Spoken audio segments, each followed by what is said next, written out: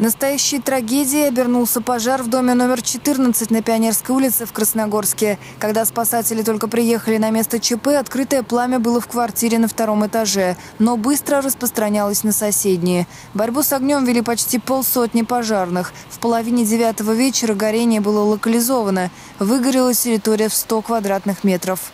Сейчас э, силами личного состава пожарных подразделений с помощью гидравлического аварийно-спасательного инструмента проводятся контрольные вскрытия перегородок и перекрытия выше расположенных этажей на, на предмет скрытого тления. По словам спасателей, эвакуация из здания началась с прибытием первого расчета. Тогда без сознания из дома вынесли двух детей – девочек 2014 и 2015 годов рождения. Их жизнь оборвалась в больнице. Следственным отделом по городу Красногорску уже возбуждено уголовное дело. Тем временем дом обесточили, на этажах спасатели проливают деревянные перекрытия, чтобы пламя не занялось вновь. Жильцов квартиры пока не пустят. 27-й, да, везем их на Ильинский тупик, дом 25 у нас уехала сюда. 25 в Зенит, да.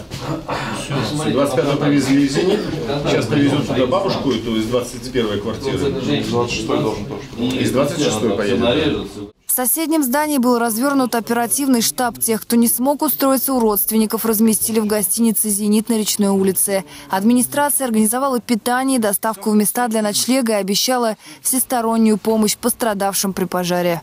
Шесть квартир, соответственно, выгорело.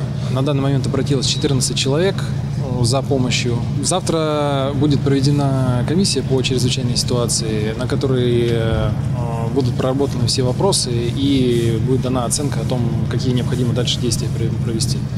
Сейчас на данный момент э, ну, не было даже еще обследования, то есть только пожарные закончили работать. После всех обследований будет э, продолжена работа.